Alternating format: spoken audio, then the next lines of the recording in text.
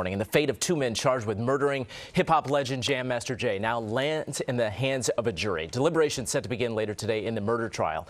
He was shot and killed back in 2002 in his studio. And Eyewitness News reporter Phil Tate live outside federal court in downtown Brooklyn with a closer look at the case. Phil, what do we know? Yeah, as you just said, in just hours we could expect that verdict. Well, this as jury deliberations are set to begin in the murder trial of Jam Master Jay. Now, it was just yesterday as the defense brought forth those closing arguments in this very high-profile case that is getting much attention, accusing both Karl Jordan Jr. and Ronald Washington. This for the 2002 murder in Hollis, Queens, as part of a drug conspiracy and the death of the Queens rapper, whose real name is Jason Mizell. Now, defense attorneys for both men charged told jurors there is no physical evidence that puts either of them at the scene, rather pointing the finger at Jay Bryant, who was being tried separately. Now, his DNA was found on scene on a knit hat on the floor next to Mizell's body.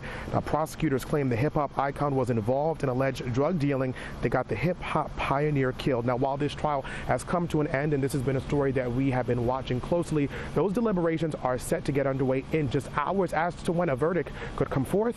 But we'll all be watching that very closely. That's the very